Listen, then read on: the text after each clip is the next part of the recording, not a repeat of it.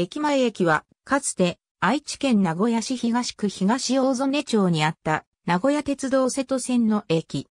主として、鉄道省中央本線の大曽根駅との旅客乗り換え、連絡の目的で設置されていた駅である。一方で、貨物運輸では、大曽根駅と大曽根駅間に連絡線が付設されており、鉄道省では当駅ではなく、大曽根駅を中央本線連絡駅として扱った。駅前駅の営業当時、大曽根を称する駅は、商線大曽根駅、名鉄大曽根駅の二駅があり、それに加え路面電車停留場の名古屋市電、大曽根電停が存在したが、それぞれ離れた位置に設置されており、現在のように集約されていなかった。市電は後年名古屋市電、大曽根線を延伸し、大曽根駅付近に乗り入れるが、電停名は東大曽根電停とされた。三事業者の大曽根駅及び電停に近接するのは、商線大曽根駅が、駅前駅、名鉄大曽根駅が、市電東大曽根電停、市電大曽根電停が、名鉄森下駅であった。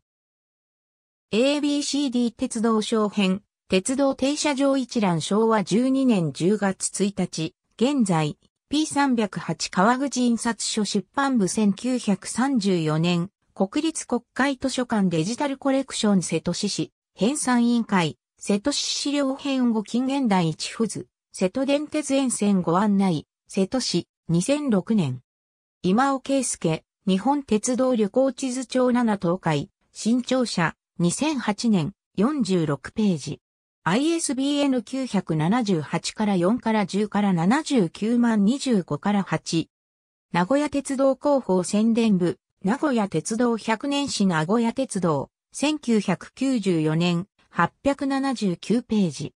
名古屋鉄道広報宣伝部、名古屋鉄道100年史名古屋鉄道、1994年、996ページ。今尾圭介、日本鉄道旅行地図帳7東海、新潮社、2008年、23ページ。ISBN 978から4から10から79万25から8。ありがとうございます。